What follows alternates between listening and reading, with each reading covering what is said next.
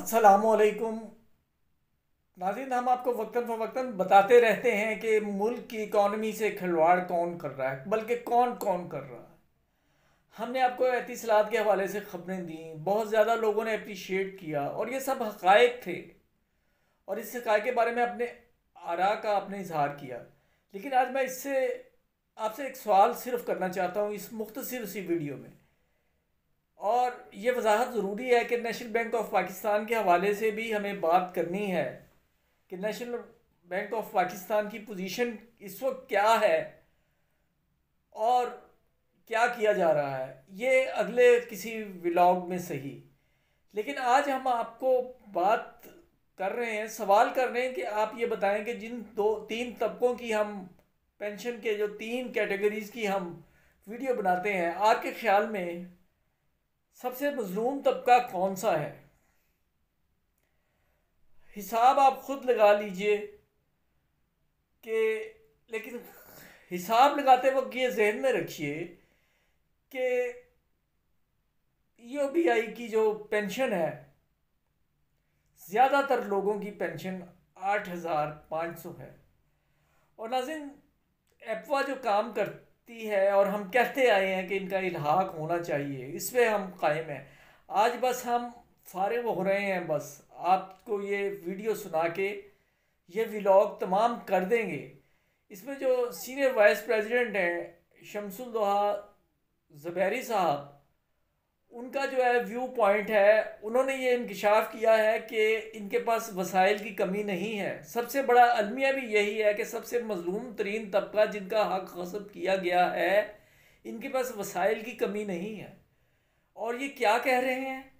आप खुद ये ऑडियो नोट जो है, ये समाप्त फरमा लीजिए।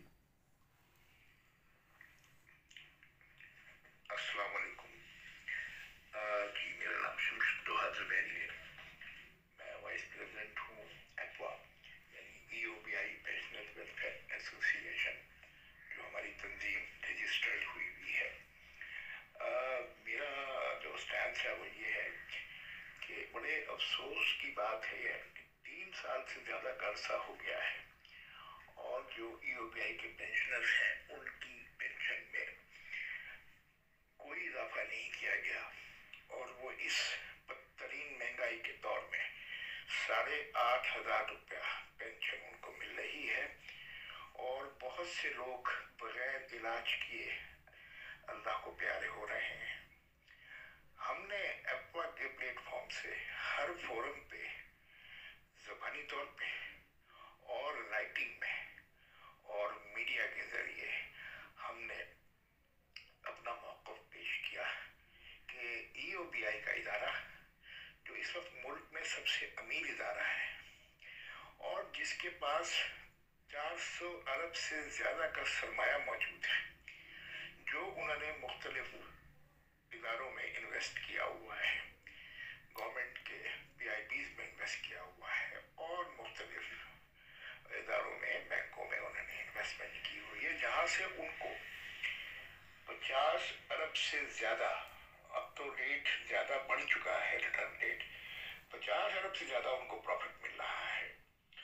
और जो इस वक्त पचानवे लाख जो पेंशनर्स बनने जा रहे हैं, जो एम्प्लॉज मुख्तलिफ़ इदारों में हैं, वहाँ से उनको जो कॉन्ट्रीब्यूशन मिल रहा है, वो भी अब सिंध हाई कोर्ट के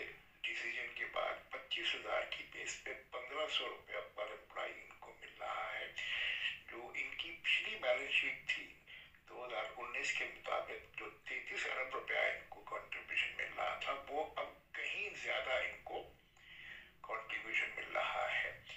उसकी एग्जैक्ट फिगर भी हम इन इंशाल्लाह मालूम करेंगे। हमने इनको ईओपीआई e को, हमने ये एक आइन का हवाला देकर कहा है कि access to right to access हमें होना चाहिए, हमें मालूम होना चाहिए कि आपने ये जो कि गरीब पेंशनर्स के जो कंट्रीब्यूशन से आपके पास फंड जमा हुआ हुआ या आपने कहा इन्वेस्ट किया है। तो मैंने तो ये पिछले भी लॉग में भी और पिछले भी आ, मीडिया में भी मैंने ये कहा था कि इनके पास तकरीबन 28 उनतीस अरब रुपया सरप्लस मौजूद है हर साल।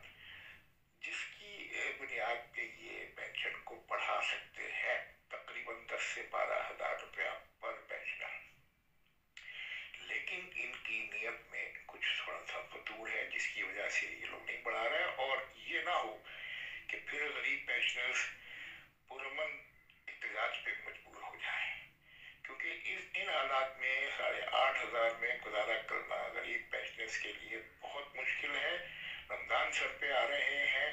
ग्रॉसरी नहीं परचेज कर सकते इस अमाउंट में बहुत से गरीब पेंशनर इलाज नहीं करवा सकते।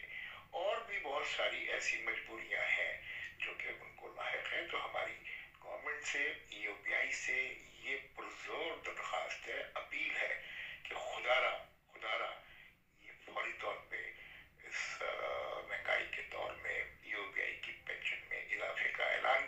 करें मिनिस्टर तूरी साहब कई मौक़ों पे ये वादा कर चुके हैं कि हम इंशाल्लाह बढ़ाएँगे लेकिन उन्होंने अभी तक इस पर कोई ऐलान नहीं किया। तो हम दोबारा ये दरख्वास्त करते हैं गवर्नमेंट से और यू से कि वो फौरी तौर पर यू की पेंशन मिनिमम वेज यानी पच्चीस हज़ार के बराबर करने का ऐलान करें। थैंक यू जलाकल्ला नाजिन, आपने सुन लिया यानी सीनियर सिटीजन जिनमें बेवाएँ भी शामिल है और सबसे बड़ी तादाद, जो मैं जिस कैटेगरी की मैं वीडियोस बनाता हूँ, उनमें सबसे ज़्यादा गालिब अक्सरियत जो है वो ई e के मजलूम पेशनर्स की हैं। लेकिन अगर वसाइल ना हो तो बात कुछ और है। इनका ये कहना बजा है कि अब कंट्रीब्यूशन भी बढ़ गई है, लेकिन अफसोस कि आजर हजरात अब भी बाज नहीं आए। एक खबर के मुताबिक लाहौर हाई कोर्ट में भी इसी नौीयत की एक रिट कर दी गई है। इस हवाले से भी जो इन्फॉर्मेशन हम गैदर कर रहे हैं, वो भी हम आपको जो है ना बताएँगे। अगर आपने सब्सक्राइब नहीं किया सब्सक्राइब करके बेल आइकन को क्लिक करके ऑल का ऑप्शन लें। वीडियो ज़्यादा से ज़्यादा शेयर कीजिए ताकि पब्लिक में आगाही हो सके। Thank for watching